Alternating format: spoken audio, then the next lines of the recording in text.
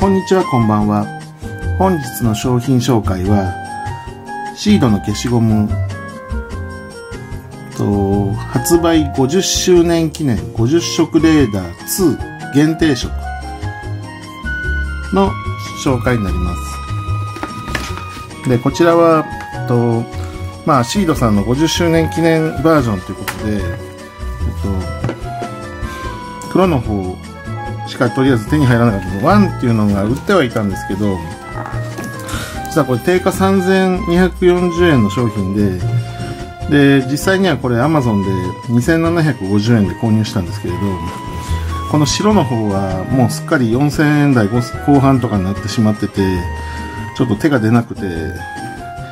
購入には至りませんでした。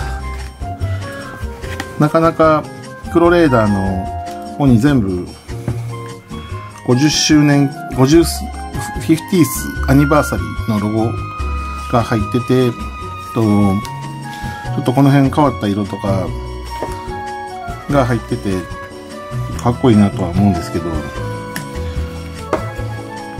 こちらももう残り少なくなってるようなので、えっと、アマゾンでまだ売ってる、まあ、とね、ヤフーショッピングとかでも実際には売ってるんですけれど、送料を考えると、やっぱり未だにちょっと Amazon さんがお得かな、とは思いました。またいろんな商品紹介していきたいと思いますので、チャンネル登録の方よろしくお願いいたします。